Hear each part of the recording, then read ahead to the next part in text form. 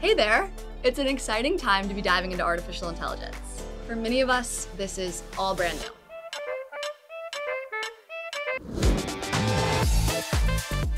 InstructLab lets you tune any open source large language model, like the ones you can find on Hugging Face, to the specific skills and knowledge that you're interested in.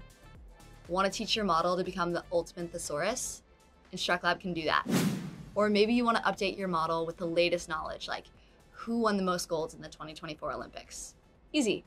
With just a few steps, InstructLab leaves you with a trained model file on your computer that you can share with others or contribute back to the project, furthering the open source AI movement. So how do we make this happen? You'll start by downloading InstructLab's dependencies and running the provided commands in your terminal. It's accessible even for beginners.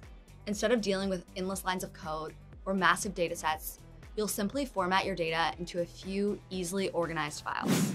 Start with a text file containing the data you want to add to the model and a corresponding YAML file in question and answer format.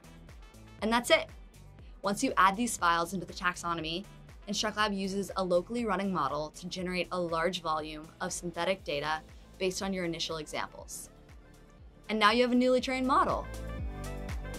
This project is constantly evolving to become easier to use.